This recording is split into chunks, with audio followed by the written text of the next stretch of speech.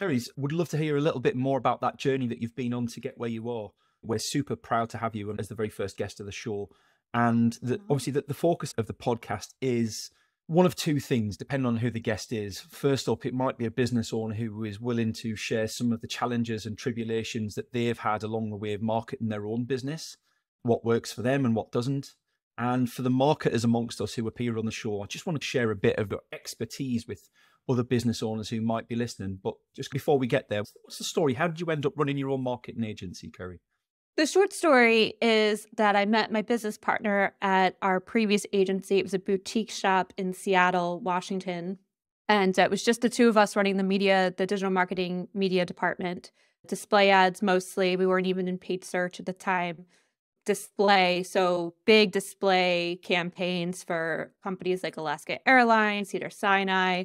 And there was a company that showed up, a travel company that wanted this boutique shop in Seattle to run their ads.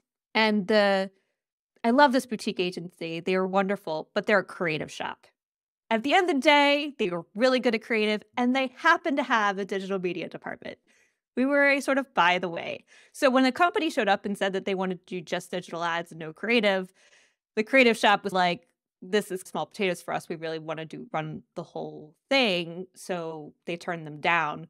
But my business partner and I were so excited about the possibility because being a travel company online at the time and being able to actually measure ROI end to end through display ads was an anomaly and something we were chasing, having been on the call with some big brands like Western Digital, Cedar Sinai, like I mentioned, and them going, Great, we spent a bunch of money with you. Now, how much money do we make? And us going, We didn't measure that because we can't, because you're selling your product in Best Buy but you got this many impressions. Look at how many people saw your ad. We were really tired of having that yeah. conversation. So when this travel company showed up and said we could actually measure business outcomes, we jumped at the idea and asked if they were okay with us pitching the business as an independent shop, knowing that we'd be doing the work anyway.